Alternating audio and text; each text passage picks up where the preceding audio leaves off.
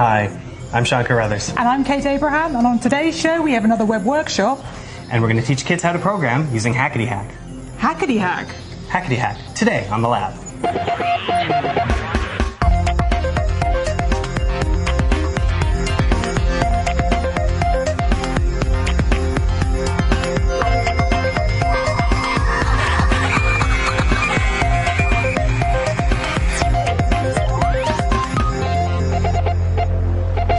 Hey, how are you? Good to see you and welcome to the lab. This is it. Yeah, the lab right here, the place where we help you understand everything there is to know about technology. I'm Leo Laporte. This is Kate Abraham. Hello. And uh, you saw Sean Carruthers earlier. And what was he talking about? Hackety Hack-? I know what Hackety Hack is. Hackety hack. Hackety Hack. Hackety hack. Well, you know, it's kind of interesting. We've talked about Alice before. There are a number of uh, programming languages that are open source and free designed to teach kids how to do computers. Absolutely. And you may say, well, I don't want, you know, my kid doesn't want to be a computer programmer, but it's a great way to also understand computers, feel some control over computers. So whether Mm-hmm. they're going to be a programmer or not it's not important, but it's more about like giving them a sense of empowerment when it comes That's to technology. cool. Yeah, and it Very really is. It's a great way to get them excited about it.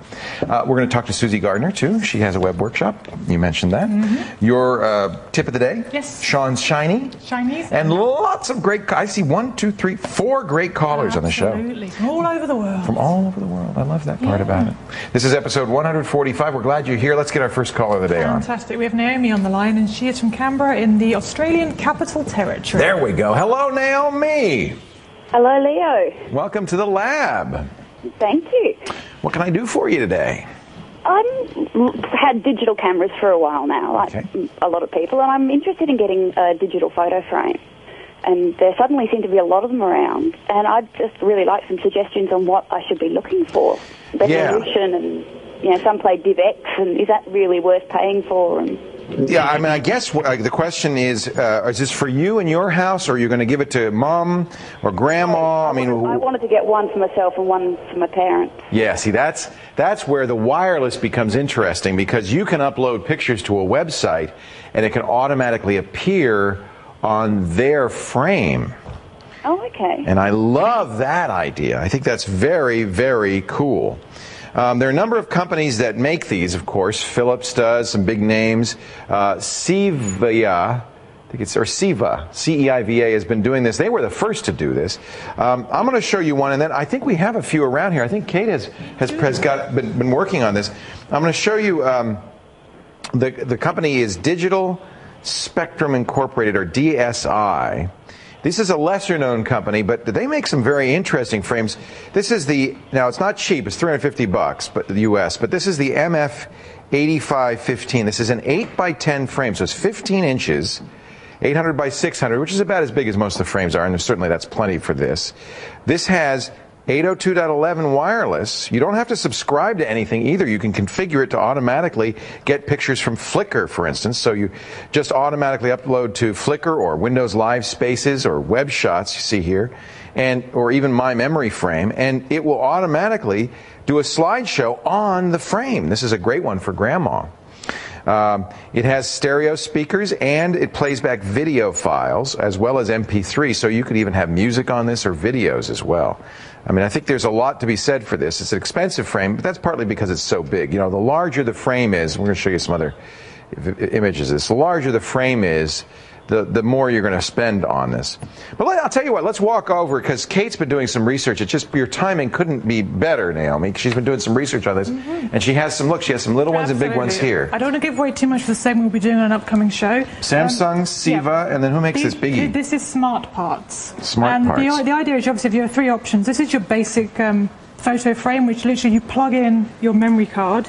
It's compatible with all memory cards. So you could always mail your parents the memory card. Yeah, absolutely. So there's that option, or if they want to download the pictures themselves Right. from the from the net. Uh, this is at three hundred and sixty dollars. Okay. But it's just a The bigger ones are more expensive. Yeah, it's all about the screen This size. is 15 inches, just a Yeah. straightforward frame. This one here is the Ceiva one you were talking about. yeah, and they, they pioneered this category. Yes. But they charge you a monthly fee. Exactly. Actually, a yearly fee is $100. Okay. A three-yearly fee is for, uh, 249 But how much is the frame? uh, The frame itself is 224 See, I think that given very that the cost of the frame and the yearly Yeah. subscription, Plus, you have to buy the dongle for the, the wireless. it's well. not a standard. It's not No. standard in any way. And yeah. last but not least, and this is actually another segment we'll be doing. This is the Samsung one. Look at that. And this actually is compatible with something called Frame Channel. and the website is framechannel.com, and it's a completely free service. It's wireless. Once you configure this and you set up Frame Channel to actually configure your photographs, Right. then that will update automatically as well. Do your parents have uh, Wi-Fi? They have? Are they on the internet? They, yeah, they have broadband, but it's uh, not wireless, I don't think. Right. Some of these have Ethernet connectors, so you could always connect it that way. Uh, but most of them use. I'll just look here. Nah, yes, this one.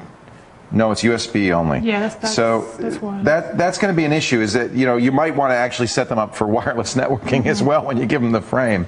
Um, I like the idea. Now maybe this is too big. This is how big the DSi frame is Right. as well. But I like the idea of this big frame. I mean, you see the details, and if you send them a movie. Uh, Windows Media Player movie, it will automatically play back in there, which is kind of cool. So we'll save this for another segment, but we just want to look at the kind of the big, medium, Yeah. And the small, and also the idea of subscription. I think that's the key. I mean, when you say the Ceiva, you have to pay $100 a year to use that thing, that doesn't seem right to me. I, I don't know uh, what of, what's available in there. I mean, you can always go online and buy these, but I would absolutely look at this digital spectrum frame. These frames have been around for four years, maybe five years, and they're still kind of a work in progress. None of these frames are perfect yet, but I think this one gives you kind of the best of all worlds. I'm a, I'm a big fan of this. It's the wireless digital frame from Digital Spectrum, DSiCentral.com. I'd take a look at that one. It does pretty much everything any of these do, and because it's it's 349, but you only pay once, you don't have to pay that monthly fee. I really have to say I like that. Okay. Sounds, sounds better. Thank you very Yeah, much. Yeah, you might get a big one from mom and dad, and then you have a little one for yourself, or, or maybe vice versa. But I think, boy, I tell you, um, if you have parents who are not maybe sophisticated about using the web or about uh, about getting online, but you want to give them these pictures so they can see them all the time, what a neat way! And you know, they get up in the morning and there's new pictures of the kids on there. Isn't that? I mean, I think that's so cool. Coming up in just a bit, we're going to take a web site and we're going to de- decompose it deconstruct it. We're going to slice it and dice it, and we're going to put it all back together better than new. It's our web workshop. Susie Gardner's here in just a bit. You stay right here.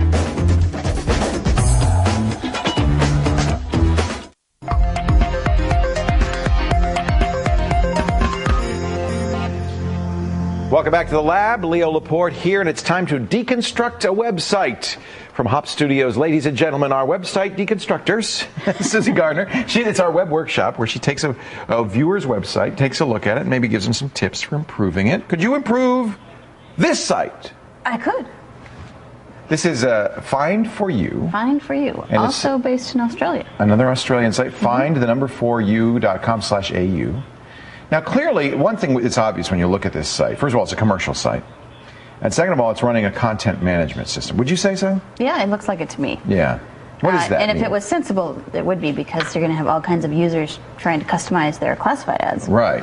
That's what this is, is a classified ad site? Yeah. Uh, for instance, here's one of the inside pages where you can, uh, someone's advertising their motorcycle. You couldn't do this by hand. You'd have to have a way, a, You a could. You database. could do anything by hand, yeah, but you would wouldn't want to. Yeah, you have to have a Yeah. database, and you have software that pulls from the database, and that's what it generates That's the pages, what- and that's what's going on here. system. Yeah.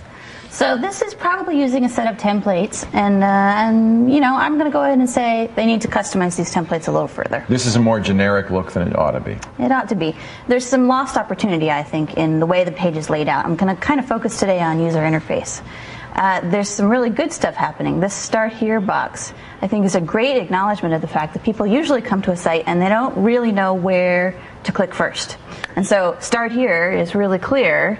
This is, you know, this is what you do right away when you come here. So a good idea. It's a good idea. I think it's too subtle, though. I think it's off to the side here, easy Right. to miss. The, the blinks are easy to miss. I think it should be bigger. I think there should be some graphics, even if there were just some arrows or, or a bigger Start start, here. Right. Uh, you would really get some benefit Right, from that. right, right. So, but I like the idea. I really like the idea. The other thing I'd say, as far as the UI goes, is down here at the bottom, there is a search. Now, this is a classified site, and you're, you're going to come here looking for things to buy.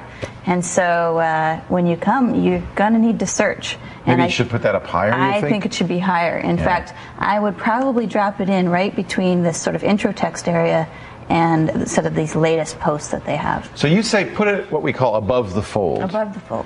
I don't describe what above the fold means. well, it's an old newspaper term, you know, Yeah. from when newspapers were folded in half, Right. and the stuff on the t- on the front when you picked it up would obviously come to your eyes before the stuff on the bottom. so on a website, it's the stuff you see when you first come to the site without scrolling. yes. Right now, you have to scroll Mm-hmm. It's a the little search. fuzzy because, of course, everybody's got different size monitors, Yeah. and you can install all these tabbed browsers and things Right. to plug in on the top of your browser. But Right. still, the higher on the page, generally, the better. Yeah. So we call that above the fold. I think the search. Yeah, I think the search should be at, at least above the fold. Yeah.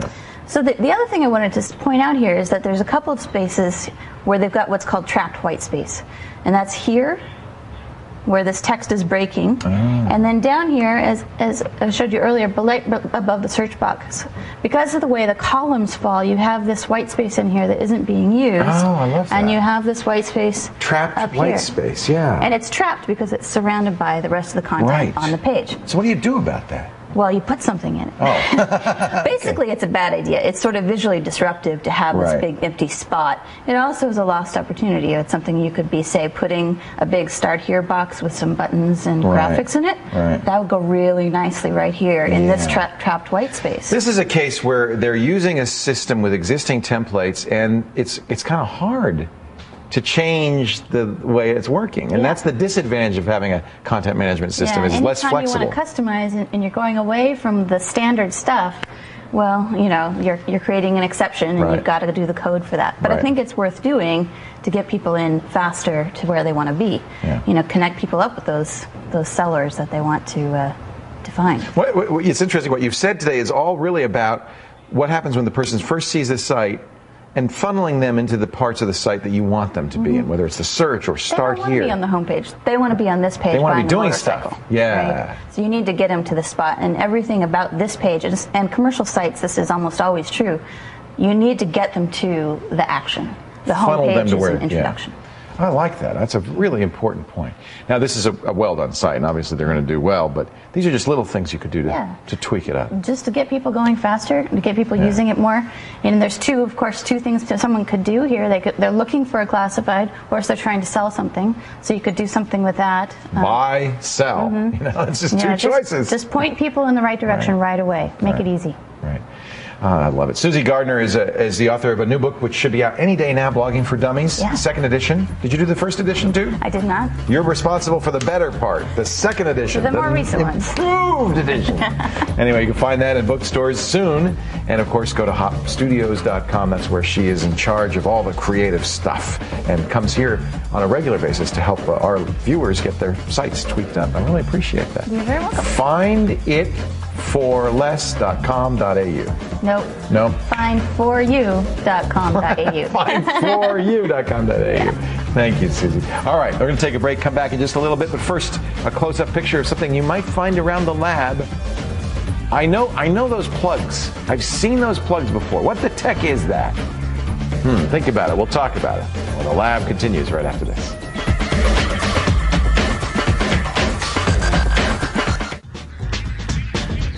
Welcome back to the lab. Before the break, we took a look at this something close up. Now, see, I know those. Those, uh, it's uh, those are power connectors. It's a fan. That's it. It's an Ultra ATX W100-34179 power supply.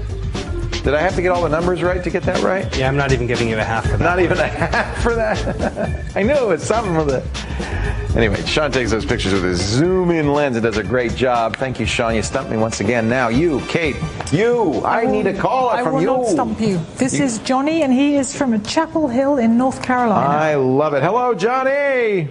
Hi, Leo. How's everything in Chapel Hill? Great, great. Great I just picture. saw that your birthday is on Thursday, and I wanted to wish you a happy birthday. Oh, you're breaking my heart. Thank you, Johnny. I know I, I, uh, I was actually hadn't told anybody around here, hoping that they wouldn't notice. But uh, now you've spoiled it. You spoiled the fun. That's all right. Thank you very much. I appreciate that. What can I do for you today? Um, my question is, um, I often like to leave my computer on at night so I can listen to your podcast while I go to sleep. Oh. And um, and um, We put you to sleep, sleep, too, I uh, bet. we put you right out. when I go to sleep, um, the com- the computer processor is uh, it's running just fine. There's the fan's not really going or anything. Uh huh. when I wake up, it's it's really going, and Oh, I have a lot of web pages open uh, when I go to sleep. So I'm thinking maybe some scripts on the, must be causing that. Maybe some flash. Does it only happen? So you're listening to the podcast on my site, or are you, Yeah. So you're listening to it at twit.tv? Yeah. Are there uh, any other pages open? Yeah. There's I, I use. There's probably a lot of YouTube pages open. Okay. And if you were to close, have you tried this? If you were to close the browser uh, and leave it on, does this fan spin up at the s- still, or does it not do that? Um, I usually just leave it open, but when I look at, the, when I- you know, the task manager and Yeah. using. Process, wait. We're kind of losing the audio. Uh, Firefox is famous, notorious, in fact, for doing something that might be causing this. Uh, it pre-caches uh, all of the links on any page. So if you leave it open long enough, it uses more and more memory downloading all the other pages that are linked to in all the pages you've got. So that could be one problem. I think it's, you know, the, the, the Mozilla Corp uh, says, well, no, that's not a bug, that's a feature. We do that on purpose to speed up your browsing. Others say Firefox is just notorious memory leaks. So it could be Firefox. NoScript, which is a wonderful Firefox plugin, won't really help because it's not scripts. It's actually Firefox that's doing it. But I do want to make sure people know about this because this plugin is uh, recommended by people like Steve Gibson who say the only secure way to use the uh, internet is to turn off all scripting. So he does recommend NoScript. It's a Firefox extension. Uh, you can get it uh, just by going to the add-ons uh, page on Firefox and download it. I don't use it because it kind of gets in my way because so many sites use scripts. But if you really want to be safe, scripts are, you know, that's JavaScript, Java, and other stuff. This program will actually block that. There's other things that could be going on, Johnny, as well, though. Don't forget that your computer also does work at night. For instance, Windows, when it sees that you're not using the computer, you know, hey, Johnny's fallen asleep. He's not listening anymore. The podcast ran out. And it quickly, it starts indexing the hard drive. That could also be using up uh, some CPU cycle. Something's going on that's making the fan spin up. It's because your computer's doing some work. So it could be just Windows indexing. Could be your email program um, indexing. Outlook does that from time to time. There's a, when your computer's running, there's a lot of little things going on in the background, and it could be any one of those. There's some stuff that you could use when you get up in the morning and you see that it's doing this. There's some stuff that you can use. What version of Windows are you using? XP. XP. Vista has a really nice uh, task manager now that can give you a lot of information about what's going on. But on XP, uh, what I would recommend is a program called Process Explorer. It's from Microsoft, written by Mark Russinovich. Uh, you can get it by going, actually Googling Process Explorer, you'll find, you'll find it right away. This tells you what's going on, what programs are running.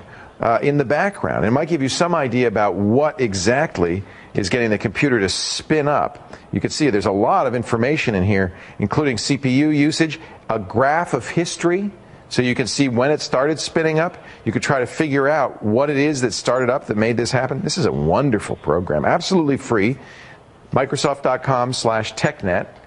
It's part of the sysinternals family. Sysinternals also has uh, a program called Autoruns that uh, will tell you what programs are running in the background, and you use that in conjunction with Process Explorer to figure out what's what exactly is going on. It might be the page, it could be Firefox, it could be something else too. I think if you really want to do, if you really care and you really want to do the homework, these are the programs you need. And I would start with this excellent Process Explorer program. What a great program this is! Uh, absolutely free. Yeah. Hey Johnny, I'm so I'm thrilled that you listen to all my shows. Thank you for the uh, birthday greetings, and uh, you could just send gifts to uh, me, care of Kate. Okay, especially if it's chocolate, because then I'll never see it again. Thank you, thank you, Johnny. Thanks, Leo. Take care. Have a great day. Thanks a lot. Now we're going to walk on over to the guy who's got something stuck in his ear, ladies and gentlemen. Sean has a shiny. Is that is. okay? I'm figuring that's a Bluetooth thing, right? It is. It's a Bluetooth headset. Okay. This is the Flamingo uh, Bluetooth headset. Now, normally Bluetooth headsets do not have, you know, uh, No. Cords around your neck. Now, this is a, a lanyard that's actually one nice little feature about it. It's uh, when you're not using it, you just Yeah, it from your I kind of like that because a lot of people walk around with those things in their in their ear. Yeah. So the one nice thing about this one is that it actually doesn't go into your ear with uh, one of the isolation ones, and it doesn't clip around the outside and making your ear uncomfortable when you're wearing glasses. This one actually uses a little clip here that actually Ooh. pushes up against the outside of your ear. Oh, that's interesting. And it, it basically Is it pretty place. secure in there? It is pretty secure. You can actually uh, shake it around like this, and it, it came out because I didn't put it in right. But you spin it into place and it holds And it place. really holds it in there. Right, and it And you have uh, different size uh, these pinchers. things right here come off, so you can actually put in one that fits your ear better. So if you have a little tiny shell-like Right. ear like Kate does, you would get the little one. Right. If you have a big ear like Ryan, you would you would get the big one. Right. And uh, the, one thing about it is it's six straight down, which is a little bit different uh, for from most of these Does ones. sound okay, though? bit- it sounds great, actually. Um, so it, it sounds good inside your ear. The microphone quality is good. Um, it does come with a little bit of a noise canceling foam tip that you can put over top of this, which looks pretty dorky, I gotta say. So I Hey, you know I've what? If you're, if you're walking around with a Bluetooth headset in your ear, you look pretty dorky, anyways. dorky doesn't Yeah. begin to this. you just Yeah. live with the dorky. Well, that's the one nice thing about this one is the lanyard makes it so that you can hide it when it's not in use, so you Yeah. don't have to look like a member of the Borg everywhere you It, go. it does have the flashing blue light, though. Right. If, you know, if you're walking around at night and you don't have a flashing blue light behind you, you're nobody these days. Exactly. So uh, let's get the uh, pros and cons, or as you say, the shinies and the Yes, sir. this. All right, so well, it doesn't hurt to wear. That's the one nice thing about the way that you put it in. It's Can't comfy. say that about all of them. and it doesn't interfere with your glasses, We which like goes back that. to comfortable. And, and the lanyard makes it uh, nice and easy to tuck away, so it's not always sitting there on your. And the multiple ear tips mean that it's for everybody, basically. What are the negatives? Negatives, well, it can only be used in the right ear with Oh. the, this particular configuration. That's dumb. Uh, and the, the windbreaker does look dorky, and when you've got the lanyard attached, it looks dorky anyways. so Double you, dork. You know, you you got to balance. Price everything is right, though. 80 bucks is not 80 bad. bucks. 80 bucks is not bad at all, and it sounds good. And that's really the most important thing. Comfort and sound are what I'm looking for. That's Flamingo. I hadn't heard their name before. They're, the- they're, they're, are they new in Bluetooth or just am I behind the times? Um, you know, I'm not 100% I've sure. I of heard of them. before, Yeah. but uh, we might be hearing more from them with this. I like it. That's very cool. All right, details on our website, labwithleo.com. We're going to take another call in just I'm a little taking a bit. call right now, in fact. he's, he's talking right right now. Let's uh, let's take a look at the quiz question of the day. All right, don't get any answers from your Bluetooth headset. What is the equivalent temperature in degrees Celsius, misspelled, of spelling error of absolute zero? Absolute zero in Celsius. I know it's not 98.6 unless I'm frozen solid. So what could it be? Think about it. We'll talk about it. A little science question when the lab continues.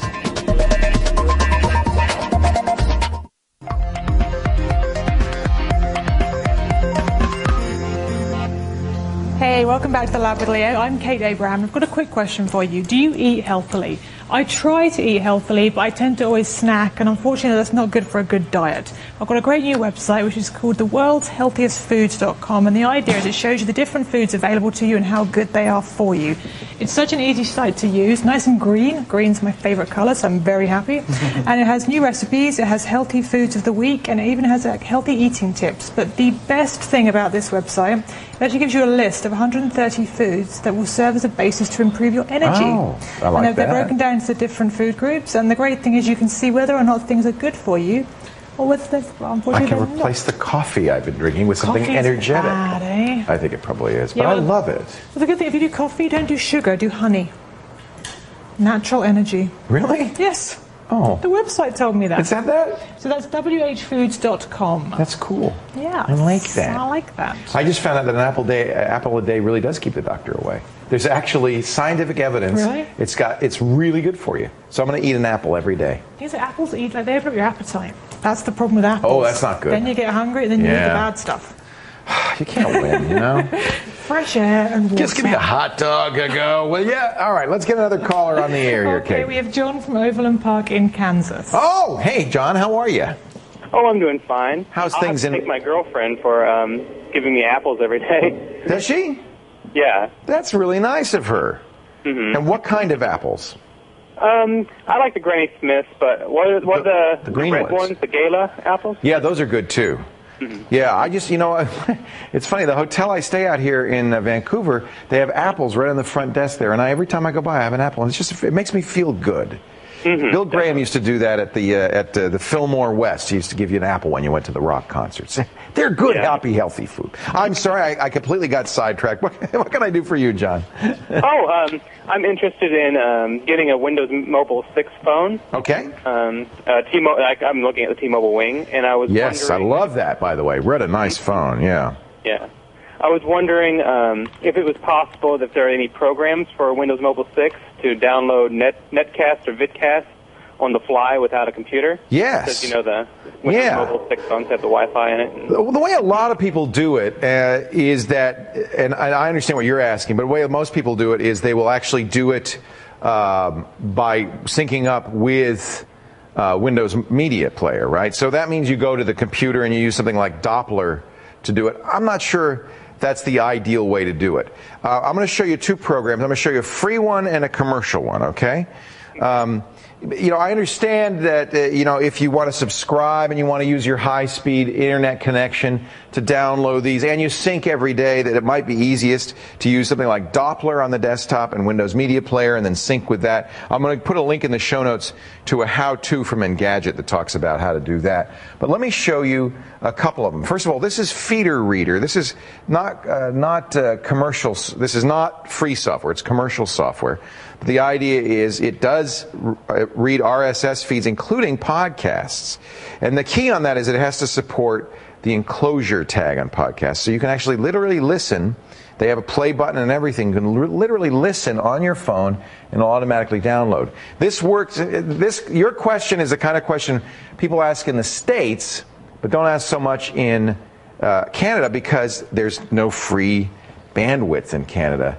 Uh, no unlimited bandwidth. So if you started downloading podcasts in Canada on your on your smartphone, you'd be paying hundreds of dollars a month. We're a little bit luckier. Here's one I'm also fond of, and this is a free one.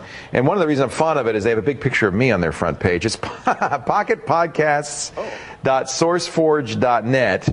Uh, this is a see. There's my picture. This is a podcast client for Windows Mobile. It's absolutely free.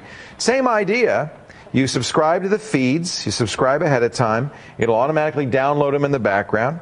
Uh, you know, and you, whenever you feel like listening, you'll you'll be able to hear it. I like it because it gives you the full description of the podcast, including links uh, to the hosts and stuff. So if the podcaster has put a good description into his podcast feed, as I do, all of that stuff comes down. There's a desktop version as well on this, which is kind of nice. It allows you, see, it gives you all that information. The desktop version allows you to do this uh, on your desktop and sync later. So for our friends in Canada, that might be a better choice since they don't they have to pay for the broad the bandwidth on a Windows mobile device. I think this is a good this there there I wish there were more choices. I wish Microsoft would put, do something they now that they have podcast support in the Zune, I'm hopeful that they will soon add this to Windows and maybe even add it to Windows Mobile. Uh, Nokia does it already on their Nokia phones. A lot of a lot of phone companies have podcast clients. Uh, but unfortunately, Microsoft hasn't seen fit to put it in Windows Mobile yet. This is a good choice. This is the one I'd probably start with since it's free. Pocket Podcasts. Pocket Podcast. Dot SourceForge. Show notes. Yeah, I'll be in the show notes. Oh. But you just go to pocketpodcasts.sourceforge.net. You can find it. Okay. Okay? Okay. Thank you. Hey, um, thank you for listening to my podcast. I presume that's the ones you're listening to. Yeah, I listen to Twit and um, the KFI podcast. Great. See, there you go. There's Twit right there on the front of the Pocket Podcasts page. That's what I like. I like it. it, it works on uh, all kinds of uh, Pocket uh, PC devices, including the new ones. So, a really good choice. Thanks for the call. I appreciate it, John. Oh, no problem. Thanks for having me. All right. Take care. Bye. More of your calls coming up in just a bit. You stay right here. The lab continues right after these important mini films manufactured by some of the best companies in the world.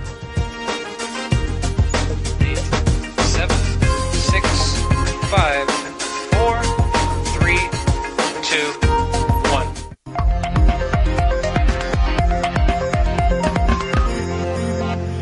Welcome back to the lab. I'm Leo Laporte. Now let's get another caller on the line. And Kate Abraham, you've got the caller for us. I do indeed. I have Chris from Taree in uh, New South Wales. Oh, how wonderful. Hello, Chris. Hello, Leo. How are you? I am wonderful. What happened to your beanie? You had a propeller beanie earlier. Is it? There we go. Chris, you're a geek. Oh, yeah. And you're proud of it. Oh, since watching and listening to you, um, we have both become sort of geeks. My hubby, who is a prom like Kate, um, looks over my shoulder and watches all that I do, and we lay in bed of an evening and watch your show and, um, and learn many things. Isn't that wonderful, Christine? You just you're just warming my heart there. I love that. Well, what can I do to help you and hubby become more geeky? Well, You keep, oops, I'm, I'm, I'm have to get to my question now. I've moved my camera. Here I am. Well, There we go. It's a dog, actually. I'm looking at a dog, not you. You're looking at a It's dog. Why are you looking at a Um, dog? The question was that I keep hearing you talking about Linux and you, bon- you, you I can't pronounce it now, Ubuntu, Ubuntu, yes. whatever it is. Are you a Linux hacker? Um, like I'm on Windows XP. But you- if I was to install it, um, would it, it, like, is it dual sort of thing? Can you get to win, your Windows applications as well, well on? Now I'm not explaining it real well. You can I know what you're saying now. So you want to run Ubuntu Linux. Yeah. which is a free operating system. It's highly secure. Actually, a little later on, uh, Brian's going to show us how to put uh, Ubuntu on a, P, a Sony PS3 gaming machine. Ubuntu is a wonderful, wonderful version of Linux. Uh, but you want to know if you're running Ubuntu, if you can see the Windows side of it. Now, I, I have to tell you right up front, you cannot really easily run Windows applications on Linux. It's a different operating system, and, and, it, and it you could, with some effort, using something called Wine, you could get some of them running. But really, the good news is Ubuntu does everything Windows does with its own free versions of those Windows applications. So instead of using Microsoft Office, you would use the free Open Office, and that would be a word processor, a spreadsheet, and all of that stuff. It has its own solitaire games. What other stuff? Uh, is it Windows applications or just Windows files you want to be able to see? Oh, I was just wondering, like sometimes on occasions my Windows haven't booted up properly for me. Right. And I've had to go through all the process. And if you wanted to get to a certain document or something, I was just wondering. Got you know, it. Were you saying So you would- you- you, boots and things like that? Right. You'd boot to the um, Ubuntu disk, or you could boot, if you've already installed it, you could boot to the Ubuntu partition on your system, and then Windows isn't working, but you could still see the files. In most cases, yes. The, if you have a recent version of Ubuntu, it can read and write the Windows disk. Older versions could only read NTFS. Um, NTFS is the file system that uh, Windows Vista uses. On XP, you may have NTFS or FAT32. These are two different file systems. Linux has never had a problem with FAT32. It can read and write it just fine. And late, later versions of Ubuntu do a good job with the new file system that is part of uh, Windows Vista and some XP installations. So the, the short answer is shouldn't be a problem. You should be able to see those drives, access them, copy files, and if they're Microsoft Word documents, you'd open with OpenOffice. If they're Excel spreadsheets, you'd open them with OpenOffice, and things like that. So, Christine, yeah, the answer is you should be able to do that just fine. Have you tried it? No, no, I've sort of been, you know, hanging about. I'm one of these, like, you know, at, at almost 50, you kind of didn't grow up with all this technology. Hey, So- I, I'm only 50, and I didn't grow up with all these technologies. You have to be like younger than Sean to have. Now he's a young kid, but you have to be younger than younger than. Look at him. You have to be younger than Sean to grow up with all these technologies. So yeah, we're all learning together. I mean, that's the beauty of all of this. I understand that, uh, Christine, you wanted Sean to blow you a kiss. Oh, yes, please. Sean, blow her a kiss. oh, see him now. oh, isn't he a doll? Oh, yeah. tell him, tell him on, on the next show just that he has to sort of stand there. Next shiny that he's showing, he has to say, and this kiss is for Christine. and this kiss is for Christine. Did you get that, Sean? I got it. Okay, he's going to do that for you, Christine. Because I love his shinies. Make sure your hubby's not watching when you, all this happens. oh, no, he'll, he'll ask, well, uh, his, his ask is, could he have a kiss blown from Kate to Alan? okay, well, Kate, you got to blow a kiss to Alan. Sean will blow a kiss to Christine, I'll just stand here. I'll be in the crossfire. In England. I think you're going to like Ubuntu. The way to try this, Christine, is to either go and get the disk. They actually will mail you a disk or download it if you've got a lot of bandwidth. And then instead of installing it, you put the disk into the CD player and you reboot your machine and you actually have it run without installing it. It's called a live CD. And by doing that, Then you can see if you like it. It's a little slower because it's not running off the hard drive, it's running off the CD. But you can see if you like it. You can see if it'll do the reading and writing of the files that you want it to do. You can really try before you uh, install. It's, it, I think this is one of the best innovations. It actually started with another flavor of Linux called Knoppix.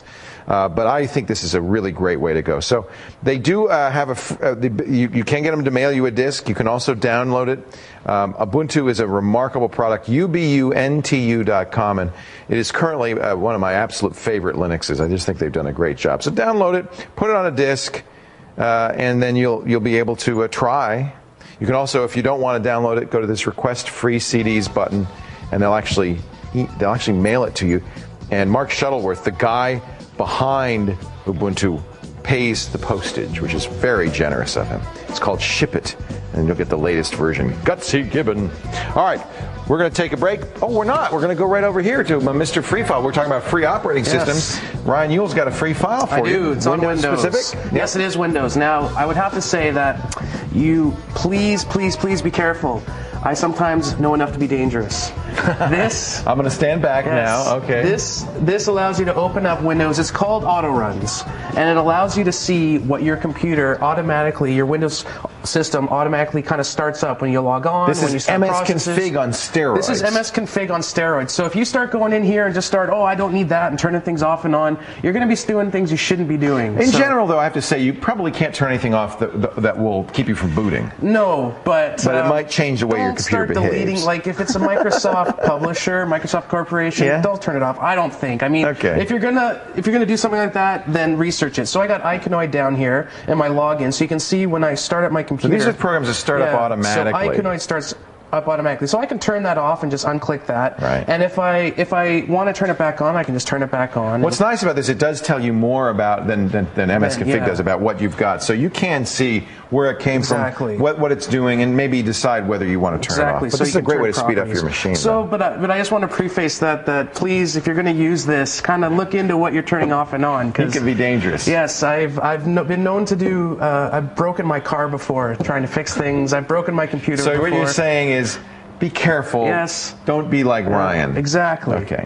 exactly. Let me make a mistake. I have to say, I have to say up front. Okay. There are very few things you could actually stop. This wouldn't let you stop your system from booting. Okay. This just would turn off things like programs that run and start, but you don't have to have. So it's it's not too hard. Okay. Don't you don't have to worry. Okay, I don't want to scare the folks. No. And you can always run it again and turn it back There on. you go. Yeah. See, it's someone who knows. Very useful. Autoruns is free from Microsoft. It is. It's uh, Yewell's Jewel. Go to labwithleo.com. Select free files. There's a bunch there, including this Autoruns. It's all good. Good. Good. Good. Well done. Now let's get some people who know Not what they're doing in here. Let's for a dangerous yes. person. And, yes. Did you know that he, in an earlier life, he was an assassin? Not kidding, he was. Not a very good one though. Not a very good one, but he is dangerous. All right, you ready to you ready to put Ubuntu, Linux, or some form of Linux on a PS3? I'm- Are you ready to learn how to program? I'm ready to. Are you ready to hack it. I'm hack? ready to watch it happen. All right, Brian's going to do it. Brian LeRoux is going to show us how to hack hackety hack. When the lab continues, you stay right here. One more chance though before we go. Last chance. Last chance. Last chance. to, to, to tell us what the equivalent temperature in degrees Celsius is of absolute zero. I have no idea. I just know it's not 98.6. Did you? Do you know? Yes, I do. You are so smart. I'm going to take a guess, but I'll do that after you do your guess, and we'll tell you the answer right after this.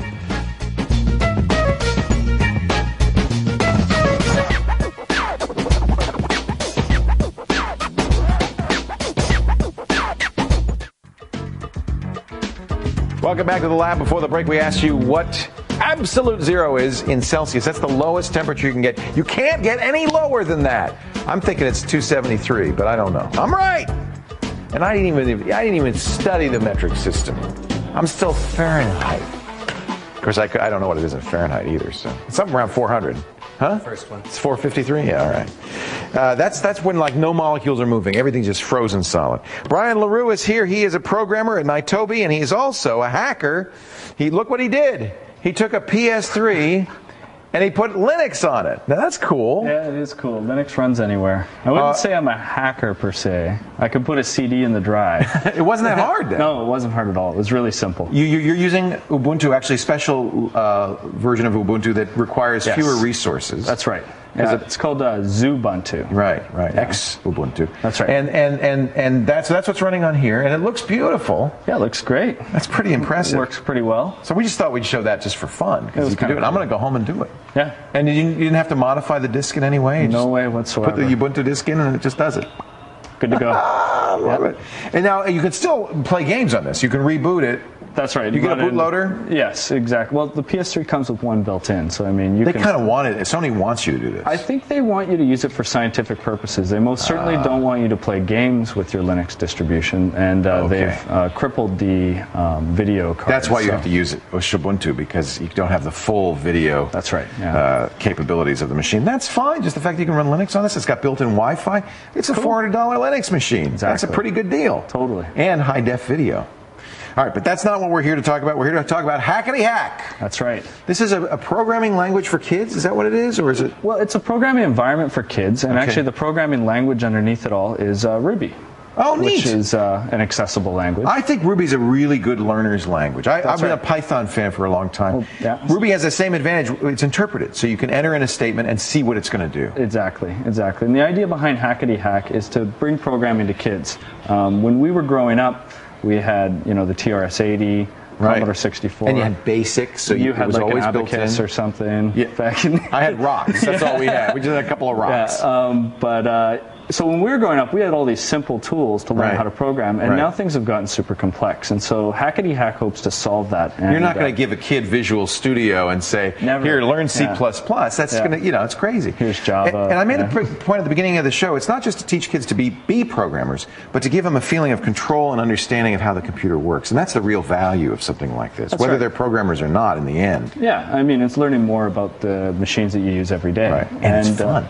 It is fun. so show us what Hackety Hack looks like. So this is Hackety Hack. Um, Free from the internet, by the way. yeah, you have to pay completely it. free. Um, I'm running it for fun uh, on Ubuntu Linux. Um, but Does it work will- on other- It runs on Windows. It actually doesn't run on Mac yet, which is Shame. kind of interesting. For shame. For shame, indeed. Um, and and so this is the bulk of the program. It's kind of like a website in a way, but not. Um, and it's the whole idea is to be accessible and simple.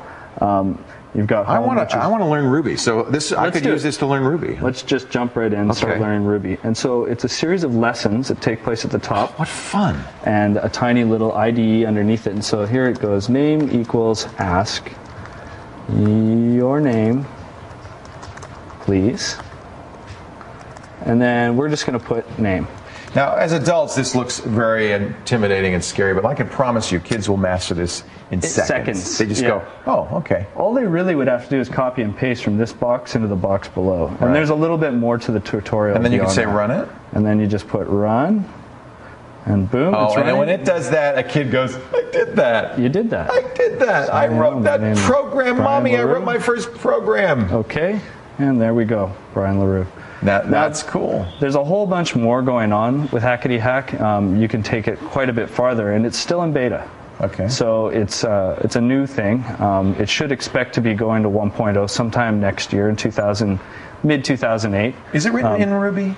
Yes. So there's no reason why it couldn't run on the Mac because Macs come with Ruby. It's one of the few operating systems, Well- mainstream operating systems that does. Windows doesn't come with Ruby. And as you can see, I kind of am running it on my Mac. Oh, yeah. I'm just using uh, Parallels right, Right. now. so you're Um, running in Windows or you're running it in Linux. I'm running it on Ubuntu through Parallels on my Mac. I'm going to So install this this. is- yeah. That's really cool. And so they can progress up and they'll become more and more sophisticated. That's right, and they can learn more and more. They can actually use uh, different services and interact with the web, so they can draw down YouTube videos. They Oh, can wow. play MP3s. They can create a blog. Oh, so this isn't some stripped down, print your name 20 times kind of programming language. You can do a lot with You can do a lot of cool stuff, and eventually the kids will become familiar and comfortable with Ruby, which is also really cool. Very useful. Yeah. And with web services and interfacing to web APIs, which I think, I know that sounds really geeky, but I think that that's a skill that will be very helpful to them Yeah, in, in later years. Um, I mean, we all use the web every day, Right. and uh, you know, we're we're just learning what it's like to be with the web. Um, kids are growing up with it. It's part of their life. What does that mean? you want to really have some fun? You could put it hackety hack on your PS3. Yeah, you could. Don't tell them. Say, oh, you know, um, today instead of Assassin's Creed, we're going to be playing hackety hack, Yeah. and then walk away. Yeah. And see what they see do. See what happens. you might be surprised when they come back. They might say, "Yeah, I cobbled together a website. I've got a YouTube feed here. This Yeah. is your RSS and uh, Acquisition offer from Google. Yeah, right. Over. Only a million bucks. Come on, I think it's worth fifty billion. Your next Mark Zuckerberg, right there. That's how easy that is. That's, That's very right. cool. So Hackety Hack, you can download it for free. We'll put a link in the show notes, Yeah. and uh, just walk through these tutorials, and uh, you'll learn how to do it. Is that how you learned, Brian? Hackety hack. Yeah. No, I wish it was. that would have been a lot Yeah, it easier. would have been much easier. Brian writes now in Ruby for uh, professionally at Nitobi, N-I-T-O-B-I dot com. That's right. And also has his own blog, which is westcoastlogic.com. You talk about stuff like this on there, westcoastlogic.com? No, it's mostly dirty stuff, but I mean, check it out. Just kidding. Kids, don't go to his blog, okay? A final word coming up right after this. You stay right here. Thank you, Brian. That's Yeah. great. Yeah, it's good to see you. Thank I you. want to download that because I would like, you know, it's. I have the.